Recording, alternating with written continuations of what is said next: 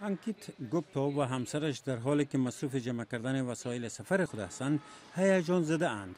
این زوج جوان که هر دو مسلک حسابداری خوانده اند از کانادا برای دریافت اقامت دائم آن کشور دعوتنامه دارد. اقامت دائم کانادا معادل گرین کارت امریکاست. US was never in my mind. To be very صادقانه بگویم ایالات متحده هرگز به ذهنم خطور نکرد.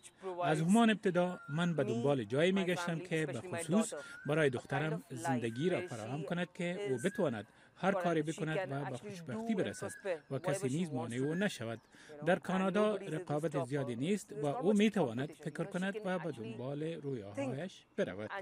در کنار مهاجرین متخصص هزاران معسل نیز قصد رفتن به کانادا را دارند.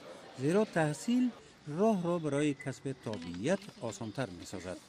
هنگامی که نیکل کمار برای تحصیلات فوق دکترا درخواست می‌داد او نیز هرگز به ایالات متحده که برای دهه ها انتخاب اول هندی ها بود فکر نکرد با سختتر شدن دریافت ویزای کار در ایالات متحده کمار قصد دارد به پانتون های کانادا درخواست بدهد کانادا موقعیت های کاری خوبی دارد و کسب اقامت دائم آن کشور نیز آسان تر است US ایالات متحده دارای قوانین سختری برای کسب اقامت دائمی است و محصلین هندی با مشکلات زیادی در آنجا روبرو هستند.